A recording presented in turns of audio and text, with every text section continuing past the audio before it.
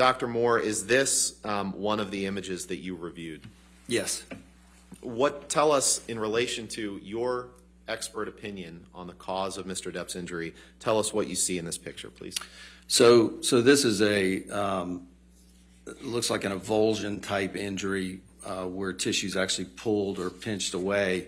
Um, I think it- what's important in this picture is that the tissue loss is uh, on the palmar aspect from underneath the finger rather than, than all uh, transversely in the finger, which you would anticipate if the, if the bottle struck the finger. You would expect more of a this, this level of injury rather than isolated to the palmar aspect.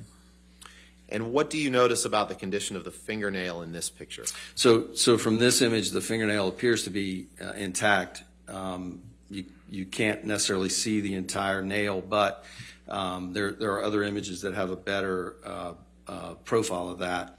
Um, and, and the nail's not elevated. It's not, there's no um, subungual hematoma beneath it, or there's no bruise underneath it. Anyone that's ever stuck their finger in a drawer or caught it in a car door or hit it with a hammer knows that almost immediately there's typically um, bleeding underneath the nail, which creates this hematoma.